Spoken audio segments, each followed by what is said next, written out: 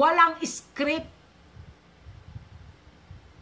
Ang real talk show, ha? Galit na galit ka, pero putang ina, kailangan pang ilagay mo yung putang inang dildo. Hindi naman dildo yun eh. Ha? Putang inang ewang ko, estatwa ng tite. Putang ina mo, siguro yan lang siguro nakita mong malaking tite, kaya yan, pinagtsatsagaan mo na lang.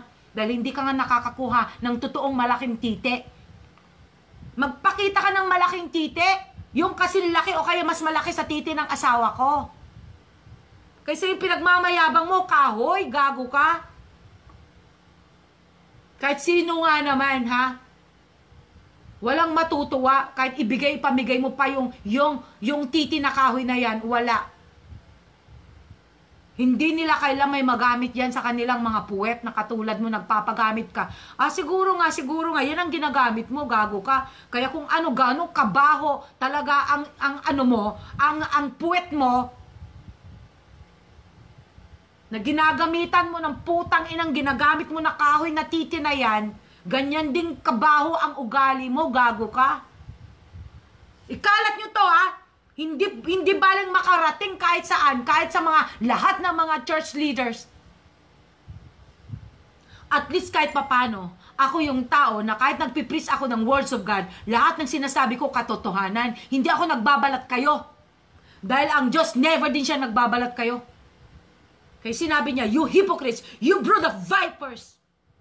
At sinabi niya mismo, nagagamit siya ng tao on his behalf para magsalita. Sino ako? Para magsalita para sa kanya. Diba? Hindi ko naman maklaim na ako ay propeta o whatever. Kahit sinabi niya na, if I'm going to show myself, if I'm going to choose a prophet, I'm going to show myself through dreams and visions. Kaya kung ano yung mga visions na pinapakita ko dyan, hindi yan, hindi yan basta-basta na lang ginagawa ko. Kaya kung sino nagsabi na, oh, paano daw talagang ano, eh, 28 ko daw na i-post yon Kasi 27 nga ng gabi ko na paniginipan Ayaw ko nga sanang ilagay eh. Pero sabi ko sandali lang kasi kung hindi ko naman i-post ito baka mamaya paparusahan na naman ako ng Diyos. Dahil ako, ginagamit niya ako para lahat ng mga ito, mga pangitain talaga ito, na talagang mga ito mangyayari o nangyari na. Oh, sinabi nung nagsabi sa akin na, oh, paano masabi na ano, paano magiging intact o paano daw magkaka, ano na, may, mamama, may mamamatay. Na sinabi ko may mamamatay. Eh kasi ang nagpakita sa akin patay na eh. Eh since wala pa naman akong nalalaman, wala pa naman ako na ibalita na may namatay na na prinsesa at may namatay na na malapit doon sa ano sa presidente. Oh. After a day na naipost ko, bigla na lang nagsulputan ng mga balita. Kaya nung sinabi niya, oh 26 namatay, oh granted 26, pero naibalita ba nung 26 para at least posibleng sasabihin mo na baka baka nakita ko na yung yung yung ano, yung balita na yon. Hindi. Yung isinay niya sa akin na balita, ha? Ano yung date? 30, March 30. Kahit sinabi man doon at nakalaad, nakasaad na March 26 namatay yon. Tapos ako naman, 27 ng gabi naman, nagpanaginip at nakita ko sa vision ko patay. At dahil nga naman sa sinabi, sinabi ko na wala naman talaga ako nakikita pa, wala pa ako nababalitan. So ang inilagad ko sa, alam ko na merong, uh, ano ba yung sinabi ko? Na merong isang prinsesa, ha? Nakakapitan siya ng deadly virus na ito. Oh, 'Di ba? Kakapitan siya ng deadly virus na ito.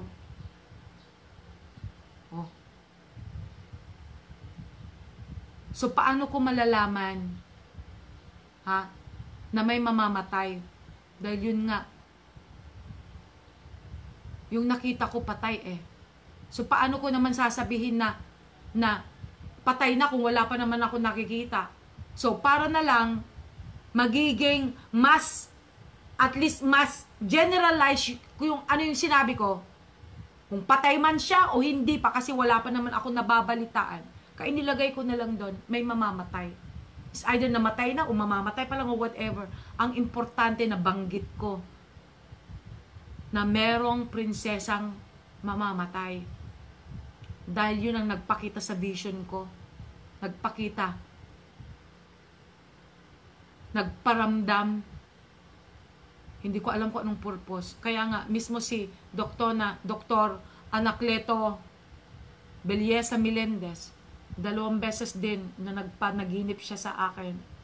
Na-post ko na rin yon At nabanggit ko na rin sa kanya kanina. Kasi I had to tell him. Lahat ng pinost ko dyan, visions yon Ayaw ko sanang ilagay dyan kasi alam ko I'll be subjected for criticisms, for judgment. Pero sinong uunahin ko kayo o ang Diyos mismo? May dahilan bakit akong ginamit. Dahil hindi ko rin alam anytime kung sino pa yung hindi ko in-expect na mamamatay din, maapektuhan din dahil sa coronavirus na to, baka mamaya yun din ang magpanaginip sa akin. At least kahit papano, nababanggit ko na. Para kahit papano, hindi niya ako sisisihin. Hindi niya ako i-question later na bakit hindi mo inilathala? Bakit hindi mo ipinaalam? Hindi mo ba alam na itong mga pangitaing ito para alam ng tao na meron pa rin nagdidikta, meron pa rin mas nakakaalam bago mangyari. Kasi sabi nga naman ng Diyos, bago pa kita ginawa o kaya nilalang o kaya bago pa kita create, bago ka pa inang, pinanganak, alam ko na kung ano ang magiging trabaho mo. Alam ko na kung saan ka titira. Alam ko na kung ilang ilang is, ilang is, ano strokes ang buhok mo. Kung ilang straw yan ng buhok yan. Alam na niya lahat. That is just to show na kung sakaling nagpakita siya sa vision ko, katulad yung nangyari sa Syria,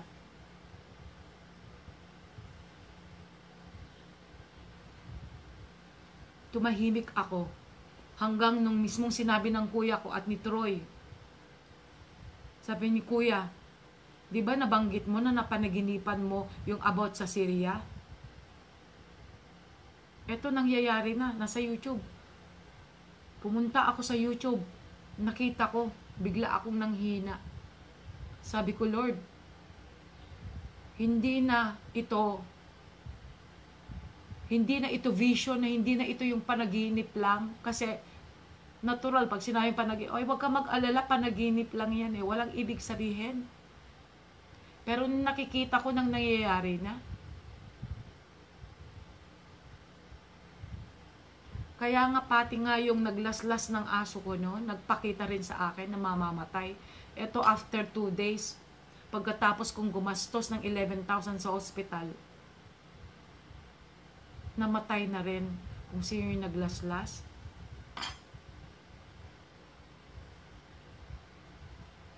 Pinatay siya.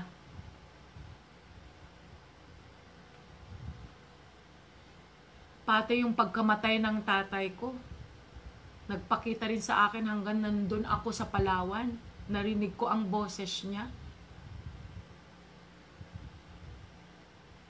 Nagpakita rin sa vision ko kung ano yung mangyayari doon sa mga pumatay. Nangyari nga. Pinatay nga sila. Nandun na ako sa Canada. Ilang beses na yung tatay ko gumaganon siya sa akin yung nandun na siya mismo, sa ilalim na mismo kung saan siya ibuburol, kung saan siya ililibing.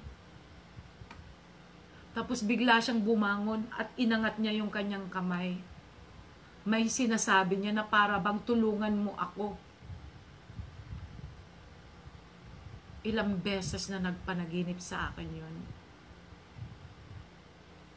And the next thing I know, nalaman ko na lang na yung dalawang at that time, kung sino yung mga nag-invite sa kanya na dalawang pulis para lumabas siya ng bahay at yung gunman na nagtago doon sa kapitbahay namin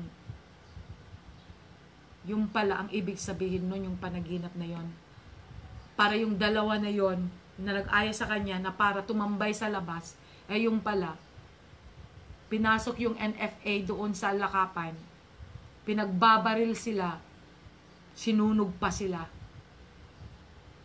At yung mismong bodyguard ng mayor namin, natagpuan na lang yung kanyang bangkay na talagang na halos na lang na naputulan yung kanyang leeg. Tinapon sa kabukiran. At mismo yung gunman, after a few months, biglang nagkaroon ng throat cancer. Patay silang apat. Hindi man sa iisang paraan, hindi man sa iisang location, hindi man sa iisang araw, pero lahat ay may timing. Dahil alalahanin nyo na ang Diyos mismo, oras na siya ang nagplano, kailan. Kaya after two years, na hindi ako sumunod, hindi ako nagsalita, dahil sobrang takot ko sa mga tao na baka mamaya bigla nila akong husgahan, bigla nila akong aapak-apakan na katulad yung nangyari sa akin. Dahil hindi ko siya sinunod, ginawa akong parang si Job sa Biblia. Hindi lang sa kinuha niya lahat ang mga kayamanan ko sa pamamagitan ng mga taong nanloko sa akin, sa pamamaga, sa pamamagitan ng mga bad investment, sa mga taong nagbigay ng death threat, sa mga taong pinautangan ko at hindi na nagbayad, kundi lahat nagsitakbuhan. Hindi pa nakontento, binigyan pa ako ng sakit na sepsis. At kahit tingnan ninyo sa internet kung anong ibig sabihin ng sepsis, it is a stress-related disease. At kung kailan na ilathala ni Chris at talagang ipinablisay niya tungkol sa kanyang lupus, at least doon na rin ako nagbigay na rin kahit papano ng mga statements ko na ito yung nangyari sa akin. Andon, makikita ninyo. Hanapin nyo, Mystica Chris. Andon. Alam ni Rabia Basser yan. Si Rabia Basser, kahit marami man kaming hindi pagkakaunawaan dahil na rin sa sulsul ng mga iba't ibang mga anak ko dito, kahit papano naman, itong araw na to, ha, dahil alam niya na by that time na inopen niya yung kanyang website o kaya yung kanyang Facebook, ako ang inilagay niya na parang garantor na kung sakali man na may mag-hack or whatever, at least kung meron siyang tatlong friend or whatever, isa ako doon sa mga friends niya na kinakailangan talaga na sabi niya, Mami, paki ano mo nga ito, paki ano mo nga Mami kasi hindi ko talaga makukuha agad hindi maibalik sa akin ang FB ko kung hindi mo ako tulungan. O ayun. At least there was a way para magkabalikan kami sa tagal-tagal na ng panahon. Kaya ang Diyos, pag gumawa talaga siya ng paraan para yung hindi pagkakaintindihan ng dalawang tao, kasi tinuring ko na siya na bilang anak ko, tinurang niya akong mami ako, matagal-tagal na. Bago ako nagkaroon ng, uh, ng rabia, meron akong Darling Jimenez noon. Meron akong Shami Shakim from Korea pero dahil na rin po, alam ko na dahil na rin po sa sulsol ng mga tao na wag mo na siyang tulungan, wag mo na siyang sponsoran, okay lang, fine. At least kahit papano naman ang Lord, siya naman lagi ang nagbibigay sa akin, nagsusupply ng mga tao na kung kinakailangan ko, alam niya na nandyan. Kasi sabi niya, once that you need me, all you have to do is seek, knock, and ask. So, I have to seek the right person, knock at the right people, and then ask the right people. Oh. 'Di ba? Andon, nasabi ko nga kay Papa Troy, by that time na na-post ko yung mga visions ko, sinabi ko sa kanya, ano kaya ulit ang sinabi ng Lord sa akin about yung 1035? 10 at saka 35. Sabi ko, hindi kaya ito pwedeng gamitin sa loto? Pero nung tiningnan ko sa Biblia, ano kayong ibig sabihin ng 1035? Hinalungkat ko 1035. Ang nagpakita is Mark 10.35. Nung tiningnan ko ang 10.35, sabi niya doon, nabanggit niya dalawa. Nakalimutan ko pa kung ano ito eh, 1 at saka ewan. Ang sa akin, ang importante na establish doon is kung ano yung gusto kong ihingi na pabor sa Kanya. And He is going to give me. Yun ang ibig sabihin ng Mark 10.35. Bumabagabag nga sa akin eh. Kaya yung pala, Bible verse pala sa Biblia. Kaya ako, every time na sinasabi ko, mga anak, tulungan nyo ako, baka naman meron tao dyan na gustong magbigay ng kahit noodle na lang o whatever. Hindi lang po noodle ang dumadating Nakita ninyo naman, punong-puno ang ref ko. Mamaya't maya, kinakailangan ko na naman talagang bumili kasi meron nga namang ale doon, ilang beses na, tatlong beses na, na kailangan talagang, ha, kahit hindi ka pa sana at panahon para bumili ako, dahil alam ko punong-puno yung ref ko, sabi ko, kung hindi ko naman tulungan itong tao na to, tinulungan naman ako ng mga sponsors ko. Kung hindi naman ako mag-alay ng tulong dito sa tao na to, dahil nandun na lang siya, nag-iisa siya doon, Ha? Sinabihan na siya ng mga pulis pero nagmakaawa siya. Sabi, sir, eh, marunong din naman siya makiusap. Sir, baka naman po pwede, ito na lang po talaga, natitira talaga na pag-asa namin sa buhay namin na mag-asawa. Pito pong mga anak ko. Eh kung mga ngalakal naman po kami, eh mas lalo po kaming nasa kapahamakan. Kasi nga naman pag mga ngalakal, puro madudumiyan mas may tendency na the risk of having virus is right there o kay germs or bacteria. Kasi hindi lang naman talaga yung yung coronavirus ang talagang kailangan pag-iingatan natin kundi marami pa pong mga kailangan nating isipin na meron din yung mga iba't ibang klaseng virus kaya tayo nagkakaroon ng fever, pneumonia, bronchitis, lahat. Lahat ng mga yan. Kaya bakit tayo nagkakaroon ng virus, di ba? Dahil sa air, dahil sa kung ano-ano mga bagay hinahawakan natin lahat yun. Kaya kung tayo mag-iingat at kung tayo ay manalig at tayo talaga ay fixed, nakafocus tayo na hindi ako kakapitan ng kahit anong demonyong yan. Kasi we have to consider na yung demonyo, yun yung arrow na sinasabi ng Lord. I will strike an arrow of hunger. Kaya kung ano yung arrow na, na coronavirus para tayo ay magutom, well, we just have to make sure na yung pananalig natin sa Kanya na tayo kahit walang sapat na nakikita natin sa gobyerno na ipapamigay sa atin, as long paniniwa, may paniniwala tayo katulad nangyari sa Biblia, ilang loaves of bread at ilang pieces of fish.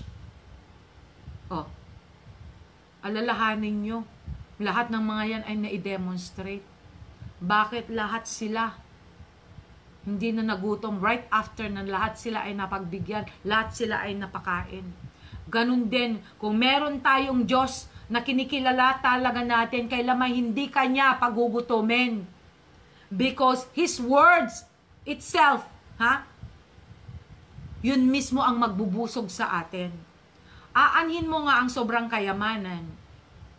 Kung wala ka namang silbi at hindi mo naman kayang ipag ipamigay o kaya hindi mo naman kayang ipamahagi o kaya i-share kung ano yung blessing na binigay sa iyo ng Lord, edi useless ka rin.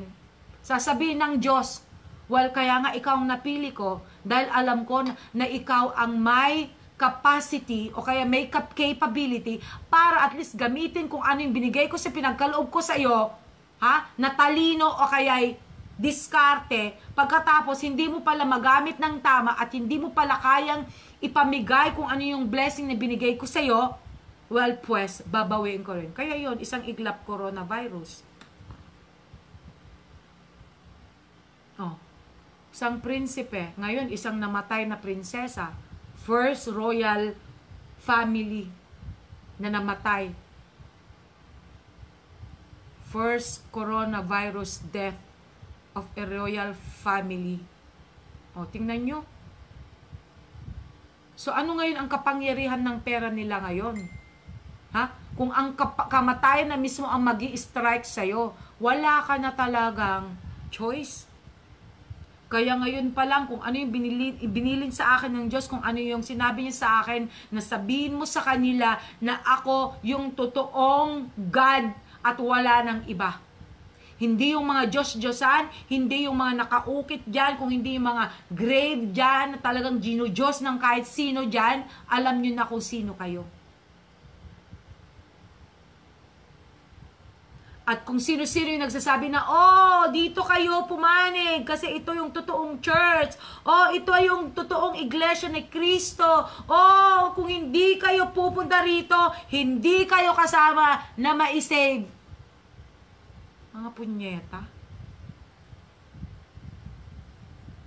Kung ikaw mismo hindi mo ma-acknowledge kung sino yung bumuo sa'yo, na mismong nasa loob mo, dahil sabi niya, you are my temple kahit saan mo hagilapin sa Biblia, sinabi niya, you are the body of Christ. You are the temple of Christ.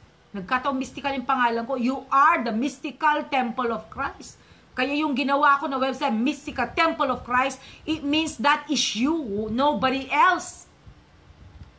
Kahit sabihin nyo na ako ay isang taong baliw, whatever, kahit itong baliw na to, ha? kahit papano naman, meron siyang na-share na tama at lahat ng mga ibabanggit ko nasa Biblia. Yun ang pwede kong maipagmalaki. Hindi na baling sabihan nyo ako na ako isang baliw.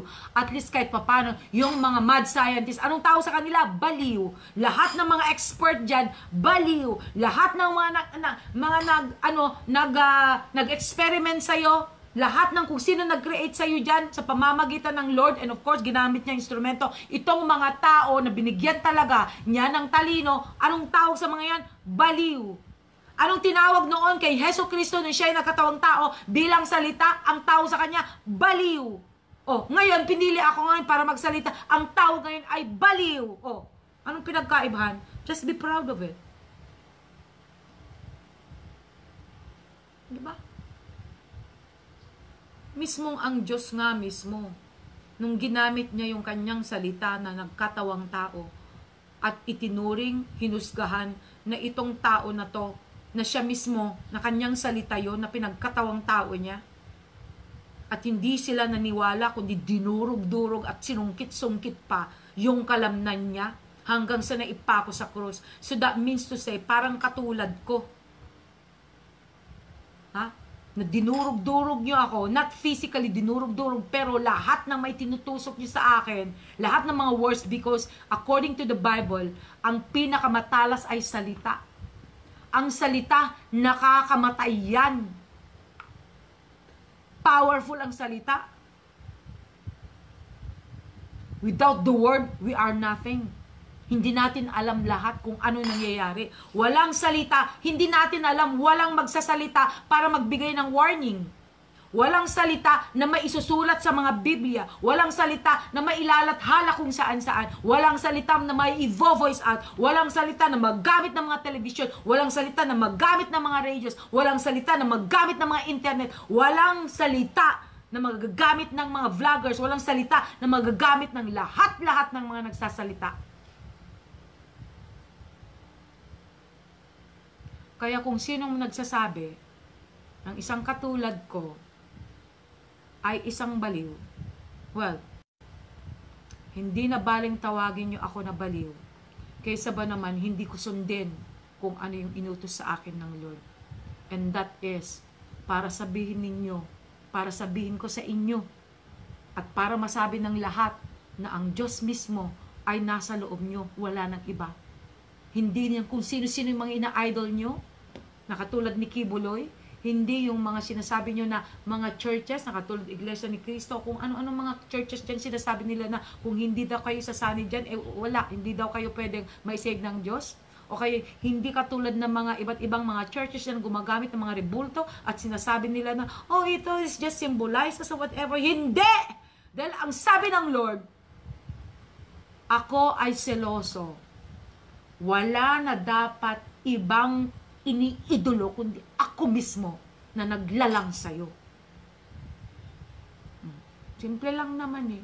Ikaw nga mismo, for example, ang nanay mo, at hindi mo inacknowledge na siya ang nanay mo, at sinabi mong, ito ang nanay ko kasi mas maganda siya, mas mayaman siya.